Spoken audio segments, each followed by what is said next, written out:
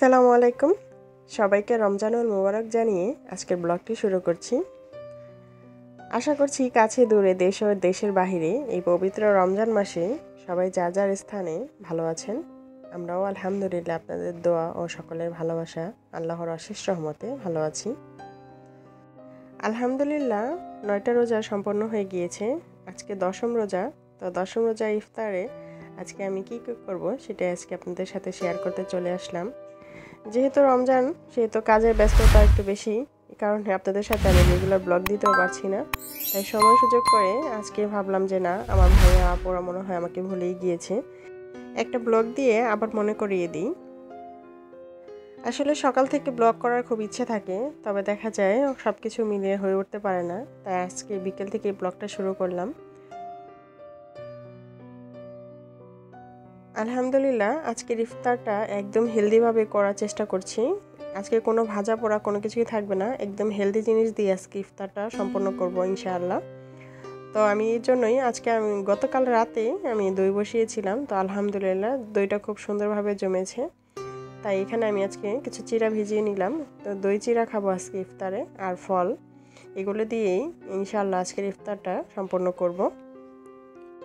একে তো রমজান মাস, তার মধ্যে আবার বড় মেয়ের পরীক্ষাও শুরু হয়েছে, তাই সব কিছু মিলে একটু ঝামেলার মধ্যেই আছি। এদিকে বড় মেয়েকেও সময় দিতে হচ্ছে, তার মধ্যে রমজানের তো কাজের শেষ নেই, অনেক বেশি কাজ থাকে, তার মধ্যে আল্লাহর ইবাদত বন্ধুগিরিও বেশি বেশি করতে হয়। তো যতটুকু পারছি করছি, কবুল করার মালিক আল্লাহ তালা এই রমজান মাসে আমরা সবাই সবার জন্য অনেক বেশি দোয়া করব, যাতে আমরা সবাই বেশি বেশি করে আল্লাহর ইবাদত বন্দীগিরি করতে পারি, আল্লাহর কাছে ক্ষমা চাইতে পারি। এই রমজান মাসে আমাদের একমাত্র সুযোগ, যেখানে আমরা আল্লাহর কাছ থেকে নিজেদেরকে গুণামুক্ত করে নিতে পারি। এই রমজান মাসে আল্লাহ তালা কিন্তু বেশি বেশি ইবাদতকারীকে অনেক বেশি পছন্দ করেন। তা আমরা সবাই ইনশাল্লাহ চেষ্টা করব যাতে বেশি বেশি করে আল্লাহ তালা ইবাদত বন্দিগিরি করতে পারি। আসলে সংসারের যে কাজ, এর টানা পড়া, এর থেকে আমরা গৃহিণীরা কখনোই বের হয়ে আসতে পারব না। এগুলোর মধ্যেই আমাদের সব কিছু চালিয়ে নিতে হবে।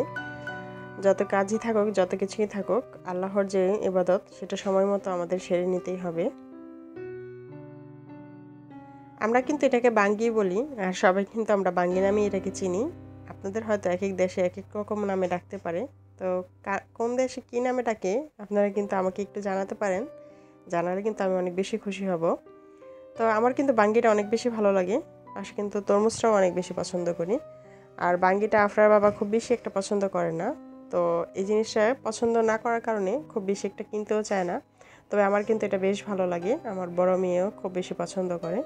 তো এই যে, এই রোজার মধ্যে সে প্রথম বাঙি কিনে নিয়ে এসেছে। তো ভাবলাম যে প্রথম যেহেতু এনেছে, তো এটা দিয়ে একটু জুস বানাই। জুস বানিয়ে সবাই মিলে খাই।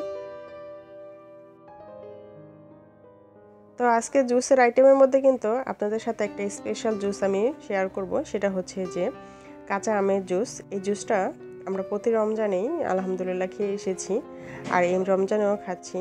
তো আমরা কি রমজান মাস আসলেই এই মানে যতবার ধরে আর কি কাঁচা আমটা পাওয়া যাচ্ছে আমরা কাঁচা আমের জুসটা প্রতিদিন খাওয়ার চেষ্টা করি। এটা একটা আমাদের মধ্যে শান্তির একটা অনুভূতি নিয়ে আসে। কাঁচা আমের জুসটা খেলে ভিতর থেকে একটা শান্তি ফিল হয়। সারাদিন রোজা রাখার যে একটা ক্লান্তি, সেটা দূর হয়ে যায়। তো আপনারাও কিন্তু এইভাবে ট্রাই করে দেখতে পারেন। আপনাদের ইনশাল্লাহ ভালো লাগবে, আশা করি। তো ইফতারের সময় কিন্তু আমি একাও কাজ করি না। পাশে কিন্তু আমার বড় মেয়ে আমাকে অনেক বেশি হেল্প করে। তারপরে আফরার বাবাও অনেকটা হেল্প করে। দেখা যায় এক হাতে কাজ করলে কিন্তু অনেক বেশি সময় লেগে যায়। তার মধ্যে ছোট মেয়ে আছে। ও তো পাশাপাশি ঘোরাঘুরি করতেই থাকে। তো বেশিরভাগ সময় ওর বাবা ওকে নিয়ে থাকে যাতে আমি কাজ করতে পারি। তারপর ও পাশাপাশি অনেকটাই হেল্প করে। তো সে আমাকে আসলে ছোলাগুলোকে গরম করে দিচ্ছিল। এই ছোলাগুলো আমি গতকালকে রেঁধে রেখেছিলাম। তো এখন এগুলোকে একটু সামান্য ডেকোরেশন করে নিচ্ছি শশা আর বেরেস্তা দিয়ে। আর শশা আর বেরেস্তাটা দিলে কিন্তু ছোলার যে টেস্ট এটা কিন্তু দ্বিগুণ বেড়ে যায়। আমার তো খেতে বেশ ভালো লাগে। তো ভাজা পোড়ার মধ্যে কিন্তু আজকে এই ছোলাটাই ছিল, কারণ ছোলা কিন্তু আফরার বাবার প্রতিদিনই দরকার হয়। সে ছোলা ছাড়া আসলে তার ইফতার নাকি হয় না। তো তার ছোলা আর একটা ডিম সিদ্ধ তার অবশ্যই দিতে হবে। তো আমি কিন্তু ছোলারা খুব বেশি খাই না, মাঝে মধ্যে মনে চাইলে খাই, নয়তো দেখা যায় ফল টল দিয়েই ইফতারটা সেরে নিই।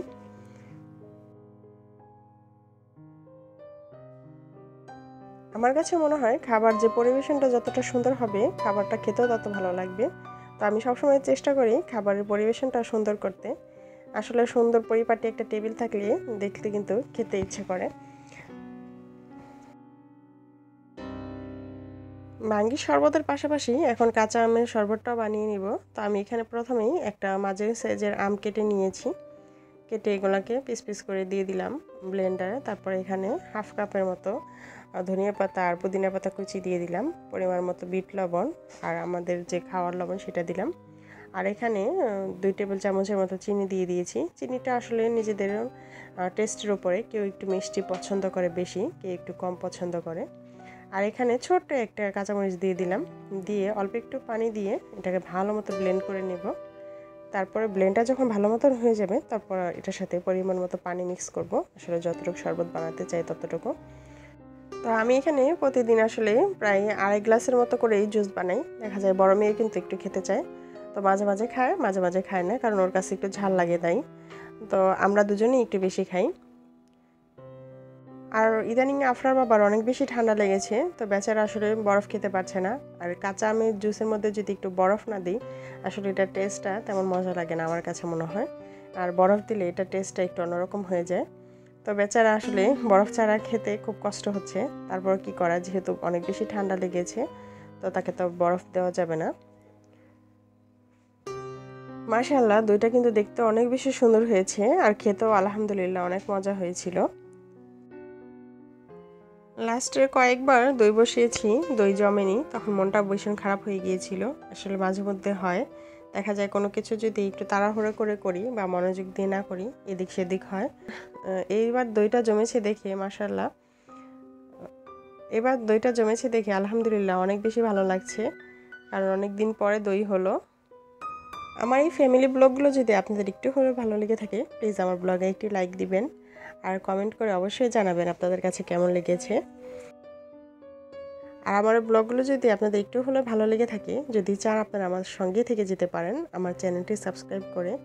আর সাবস্ক্রাইব করে অবশ্যই সাথে যে ঘণ্টার মতো একটা বেল আইকন দেওয়া আছে, এটাতে অবশ্যই ক্লিক করে অল অপশনে দিয়ে রাখবেন, যাতে পরবর্তীতে আমি ভিডিও দেওয়ার সঙ্গে সঙ্গে সেটা আপনারা দেখতে পারেন। আর আপনাদের একটি সুন্দর কমেন্ট আমাদেরকে কিন্তু অনেক বেশি উৎসাহিত করে আরও সুন্দর একটি ব্লগ বানানোর জন্য। তো প্লিজ আপনাদের ব্লগটি কেমন লেগেছে এটা কিন্তু আমাকে জানাতে অবশ্যই ভুলবেন না। আর এখন বলুন তো, আপনাদের ঈদের কার কার শপিং করা শুরু হয়ে গিয়েছে? আমার তো আলহামদুলিল্লাহ, রোজার আগেই আমি অনেকটা সেরে ফেলেছি। রোজা রেখে যাতে মার্কেটে দৌড়াদৌড়িটা খুব কম করতে হয়, কারণ খুব বেশি সময়ও পাই না মার্কেটে যেতে। তো এই কারণেই আমি রোজার আগে চেষ্টা করি যে শপিংটা একটু সেরে নিতে। তো আলহামদুলিল্লাহ, মোটামুটি কিন্তু আমার শপিং হয়ে গিয়েছে। নেক্সট ব্লগে কিন্তু আমার ঈদ শপিং নিয়ে আপনাদের মাঝে হাজির হব। আশা করি ওই পর্যন্ত আপনারা আমার সঙ্গেই থাকবেন। মাশাল্লাহ কাঁচা আমের শরবতটা কিন্তু দেখতে অনেক বেশি লোভনীয় হয়েছে আর খেতেও আলহামদুলিল্লাহ অনেক মজা হয়েছে। আপনারা আর কে কে এই কাঁচা আমের শরবত বানিয়ে খান, আমাকে কিন্তু আপনারা অবশ্যই কমেন্ট করে জানাবেন। আলহামদুলিল্লাহ, আগে আমরা ইফতার করতাম তিনজন, তো এই বছর আলহামদুলিল্লাহ আমরা চারজন ইফতার করছি। ছোট মেয়ে তো নিজে আমাদের সাথে ইফতার করে খুব বেশি আনন্দ পায়। এই রমজানটা আল্লাহ তালা যেভাবে সুন্দরভাবে কাটিয়ে নিচ্ছে, আল্লাহর কাছে দোয়া করি, আল্লাহ যাতে আগামী আগামী রমজানটাও এরকম পরিপূর্ণভাবে আমাদের আদায় করার তৌফিক দান করেন। আর এইদিকে আমার ছোট মেয়ের কাণ্ড দেখেন, সে কিন্তু ইফতার করতে এসে অনেক বেশি খুশি। আর আমরা যখন ইফতারের আগে সবাই দোয়া পড়ে, মনোজাত করি, সে নিজেও মনোজাত করা শিখে গিয়েছে। যখনই দেখে আমরা দোয়া পড়ছি, তখন সে মনোজাত করা শুরু করে দেয়। তো এই ব্যাপারটা কিন্তু আসলে অনেক বেশি ভালো লাগছে। বাচ্চারা কিন্তু আসলে পরিবারের থেকেই শিক্ষা নেয়। আসলে দেখে কে কেমন করে, তার থেকেই শিক্ষা নেয়। তো আলহামদুলিল্লাহ, আমার ছোটো মেয়ে কিন্তু অনেক তাড়াতাড়ি অনেক কিছু ক্যাপচার করতে পারে। এটা দেখে আমার আলহামদুলিল্লাহ অনেক বেশি ভালো লাগছে। ইফতারটা আসলে যত বেশি সিম্পলভাবে করা যায়, তত বেশি আসলে ঘর পরিষ্কার থাকে। কারণ যত আইটেম করা যায়, ততই ঘর নোংরা হয়। আর দেখা যায় ওগুলো পরিষ্কার করতে করতে সন্ধ্যার পরে আর কিছুই ভালো লাগে না। আর যেহেতু আফরামনির পরীক্ষা শুরু হয়েছে, দেখা যায় দ্রুতই ওকে পড়তে বসাতে হয়। তো এটা আরেকটা মাথায় কিন্তু আরেকটা টেনশন থাকে যখন কখন সব কিছু শেষ করে মেয়েকে পড়তে বসাবো। সকলের সুস্বাস্থ্যতা কামনা করে আজকের মতো আমার ব্লগটি আমি এখানেই শেষ করছি। আবারও ইনশাল্লাহ দেখা হবে নতুন একটি ব্লগে সেই পর্যন্ত আপনারা সবাই আমার সঙ্গে থাকুন। সেই প্রত্যাশায় আজকে এখানেই বিদায় নিচ্ছি। আল্লাহ হাফেজ।